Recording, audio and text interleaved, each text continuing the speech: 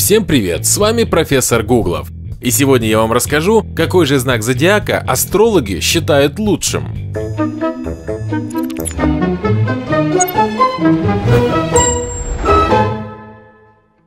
Астрологи, конечно, лютая пурга, но интересно все же узнать, какой же из знаков зодиака ее представители считают самым лучшим. А выяснить это не так уж и просто. Хотя бы потому, что лучшесть бывает очень даже разной. Для одних важно одно, для других другое.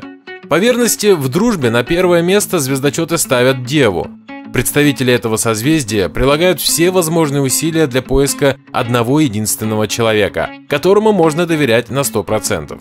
На них можно положиться почти всегда, но будьте готовы, что вас станут проверять и испытывать очень тщательно, прежде чем сочтут достойными близкого общения. Красивее всех считаются стрельцы.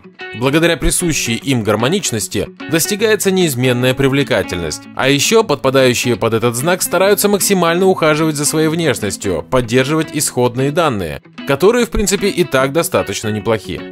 Доброта – это телец. Он терпеть не может конфликтов и всегда до последнего старается идти на уступки, урегулировать противоречия мирно. Соответствует такому поведению и склонность к безвозмездной помощи, гуманизм, человеколюбие.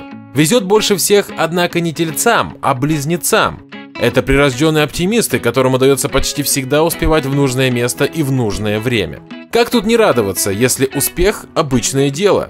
Сильной стороной водолеев признается умение генерировать новые идеи и творческие проекты. Однако довести их до логического конца часто не получается, так как сил и времени не хватает, а непрерывно появляются все новые.